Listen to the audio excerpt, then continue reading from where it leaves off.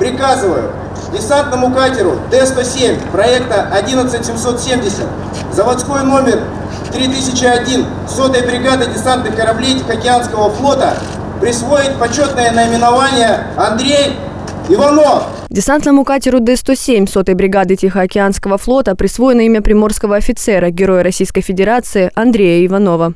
Это был настоящий офицер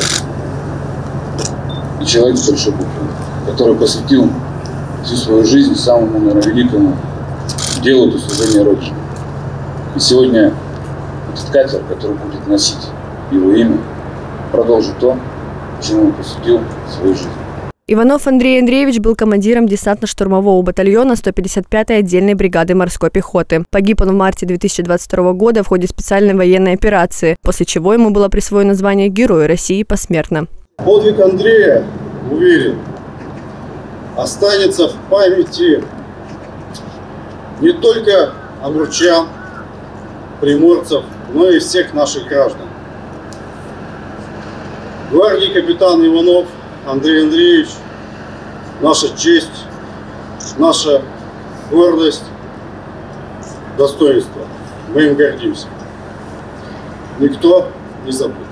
Торжественная церемония прошла на 33-м причале во Владивостоке, где швартуется катер. В мероприятии приняли участие родные и сослуживцы Андрея Иванова, командование Тихоокеанского флота, а также глава Владивостока Константин Шестаков и губернатор Приморского края Олег Кожемяка.